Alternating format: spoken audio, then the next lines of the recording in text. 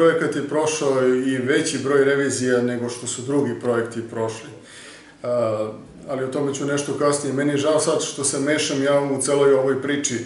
Žalostno mi je pogotovo, pogotovo i ono što me pogađa da posle tri godine se neko ovaj, napravio pametnim i opire prst u nešto što je najlepše u našem gradu, što nema mrlju i zašto su svi rekli da je uređeno fantastično.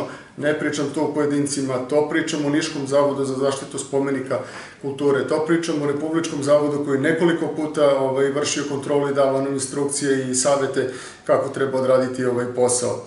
Tako da, što se toga svega tiče, apsolutno sve njihove instrukcije su ispoštovane.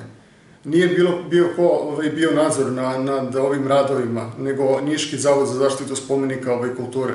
Tako da sve ono kako je trebalo da bude urađeno i da se ispoštuje je urađeno. Zamislite da bi jedna reprezentativna institucija poput Niškog ili Republičkog zavoda dozvolila bilo kakve malverzacije ili da se nešto odradi što je predmenom predračunom, odnosno projektom predviđeno. Što se tiče tih toaleta i restorana, oni su predviđeni za neku narednu fazu, odnosno ideja naših projektanata je bila da se oni rade u nekoj narednoj fazi izgradnje i uređenja rekonstrukcije. U ovoj fazi apsolutno ne.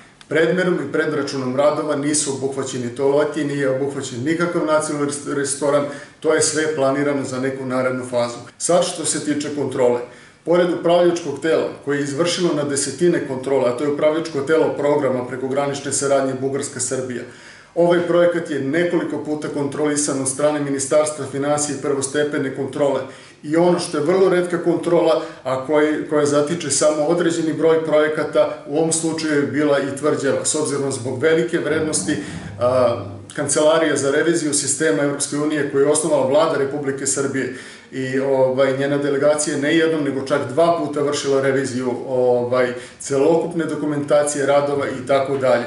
Za ovaj projekat ne postoji ni jedna jedina zamerka, apsolutno ni jedina najmanja zamerka. Da smo imali kod drugih projekata i neke male zamerke imali smo. Kod ovog projekta dokumentacija u potpunosti čista i sve je uređeno po planu, predmeru i predračunu radova. Tako da ispoštovanje rok i sve apsolutno što je u vezi sa tim.